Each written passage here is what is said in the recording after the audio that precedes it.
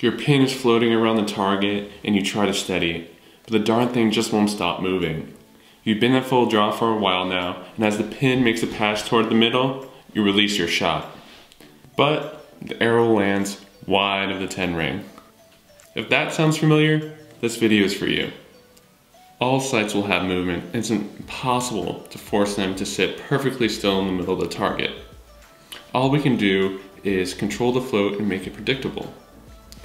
So an ideal pin float would be a figure eight around the middle of the target. And it's gonna be different for everybody, but as long as your pin is passing through the middle and then coming back to the middle again, passing through the middle and coming back to it again, that's all we need. Your mind is really good at lining things up, and as long as that pin is going back and forth to the middle, that's perfect.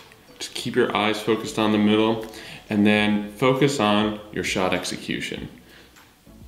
The key is don't let your desire to shoot a 10 every time control your shot.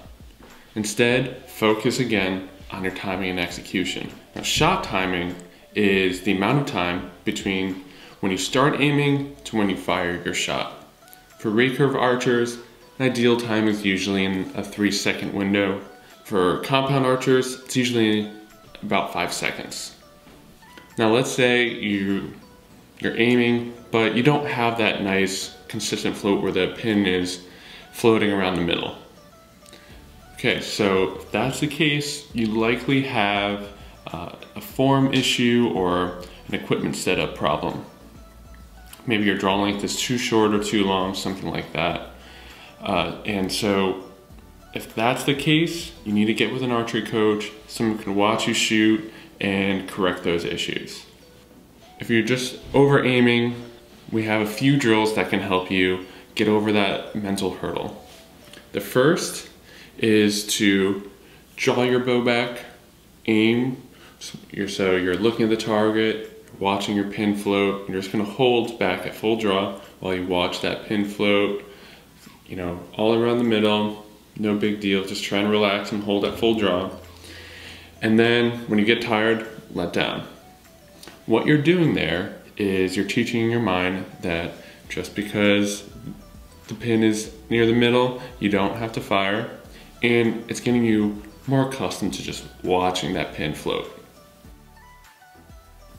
Another drill is to shoot up close. So you take a 40 centimeter target, which is typically shot at 20 yards, and you would bring it closer, like five or 10 yards. So it's gonna be much easier to hit the middle of that target. And again, it's gonna relax your mind. It's gonna take, you know, it's gonna be much easier to aim at that closer, larger uh, target face. And then what you can do is you can again focus on getting a good release off in good timing. So the next time you're at full draw for too long, don't worry. It's totally natural to have pin float and just focus on your timing, your execution, and you'll have much better results.